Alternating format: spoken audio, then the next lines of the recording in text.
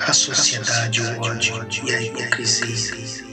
Na sociedade em que vivemos, o ódio e a hipocrisia se espalham e muitas vezes as pessoas se perdem em crenças que nada mais são que farsas.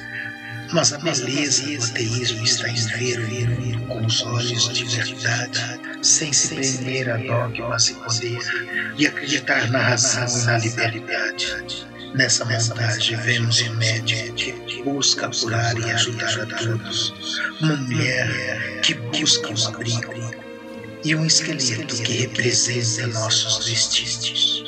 E ali, ali, ali, eu me ajoelho oferecendo minha mão, simbolizando a solidariedade e empatia. E o tigre branco tão forte e belo, representando a coragem e a energia. É na união e no amor que reside a beleza que o ateísmo pode oferecer. Sem ódio ou hipocrisia, só certeza de que a razão e a verdade podem vencer. Assim, podemos criar um mundo melhor, onde a diversidade é respeitada e cada um pode ser quem é de fato, sem medo ou preconceito, sem ser julgado.